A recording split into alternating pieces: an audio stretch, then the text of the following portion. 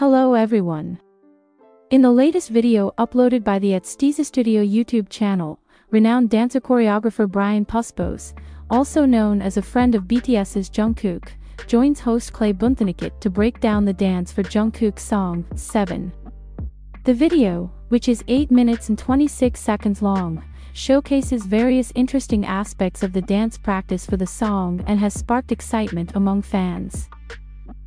A particular segment in this video caught the attention of many fans when Brian Puspos was asked to deliver a message to Jungkook.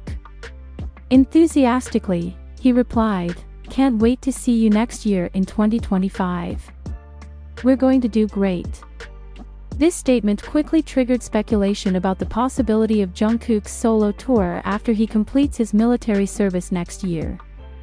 Many fans immediately expressed their excitement on social media, hoping that this is a sign of the idol's return with a major project. Brian Puspos has been an essential part of Jungkook's dance crew for the artist's solo projects, including working on the hit song, 7 featuring Latto. In the video, Brian and Clay discuss various details of the dance practice for 7. From the moves Jungkook performed wearing leather pants and thick Balenciaga boots to how he smoothly handled a necklace getting tangled during the performance. Brian also highlighted Jungkook's kindness and attentiveness to everyone around him.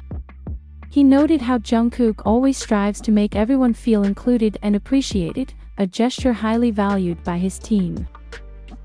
Additionally, Brian and Clay talked about Jungkook's impressive performance.